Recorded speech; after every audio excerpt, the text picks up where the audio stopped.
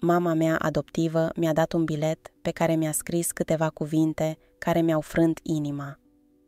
Mama mea naturală m-a abandonat, iar eu am crescut la orfelinat până la vârsta de șapte ani. În acea perioadă, nu aveam un reper stabil, nu aveam pe nimeni care să-mi ofere iubirea și siguranța de care un copil are nevoie. Fiecare zi era o nouă luptă cu singurătatea, iar gândul că aș putea să fiu adoptată îmi părea o fantezie îndepărtată, ceva ce nu mi se putea întâmpla mie. Însă, când am împlinit șapte ani, chiar de ziua mea, administratorul orfelinatului a venit la mine și mi-a spus Elena, vei fi adoptată. De astăzi vei avea o mamă și o casă a ta. Nici nu știam cum să reacționez. Era o veste neașteptată și mă simțeam confuză. Urma să fiu adoptată, dar nu știam nimic despre acea femeie.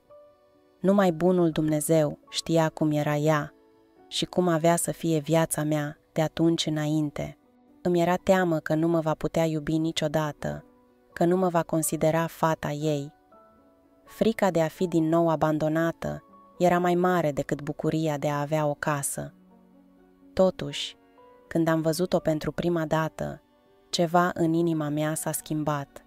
Avea un chip blând, părul blond și câteva riduri la colțul ochilor, semnele unei vieți trăite cu înțelepciune și răbdare. M-a luat de mână și m-a dus la noua mea casă. Încetul cu încetul am realizat că acea femeie pe care o priveam cu teamă și nesiguranță avea să fie mult mai mult decât un simplu adult care mă va îngriji. Mi-a devenit mamă, ghid, sprijin și mai presus de toate, prietenă. Am crescut în casa ei, iar ea mi-a oferit tot ce avea mai bun. Era ca un înger trimis de Dumnezeu pentru mine, ca să-mi călăuzească pașii și să-mi umple viața de iubire. De câte ori mi-era frică sau aveam îndoieli, mă făcea să-mi găsesc curajul și încrederea pe care nu știam că le am. Ori de câte ori plângeam, mă încuraja și mă asigura că lucrurile vor merge spre bine, că viața nu este întotdeauna ușoară, dar niciodată nu trebuie să renunț. Mama mea adoptivă era bibliotecară. Iubea mult cărțile și treptat mi-a insuflat și mie această pasiune. Prin ele am descoperit lumi noi și mai presus de toate, am învățat să visez. După ce am terminat liceul, m-a întrebat ce aș vrea să fac în viață, care este visul meu. Cu inima tremurând, i-am spus că mi-ar plăcea să pictez. Aceasta era pasiunea mea, dar mi-era teamă că nu o va înțelege sau că mă va sfătui să aleg ceva mai practic. Spre surprinderea mea, mama m-a susținut din plin. Atât timp cât îți faci din pasiune meserie, nu vei da greș niciodată. Așa că m-a înscris la facultatea de arte. Dar după absolvire, lucrurile nu au fost simple. M-am confruntat cu respingeri, frustrare și teamă că visul meu se va destrăma. În ciuda acestor greutăți, mama mea a continuat să mă încurajeze. A transformat sufrageria noastră într-un mic atelier unde puteam picta în voie, fără să-mi pese dacă tablourile mele erau sau nu vândute.